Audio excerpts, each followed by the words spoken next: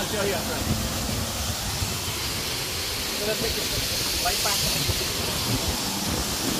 Right back. Right back. Keep right.